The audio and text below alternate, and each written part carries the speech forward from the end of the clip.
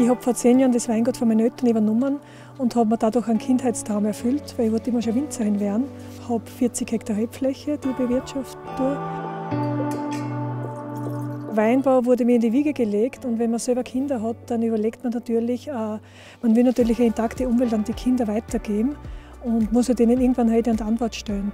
Und deswegen habe ich mir überlegt, äh, wie können wir umweltbewusst äh, wirtschaften.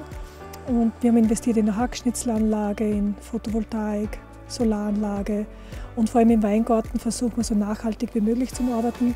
Also Handarbeit ist sehr wichtig, weil die Qualität wächst im Weingarten und wir versuchen keine Insektizide, keine Herbizide, nichts zu spritzen, sondern so biologisch wie möglich zu arbeiten.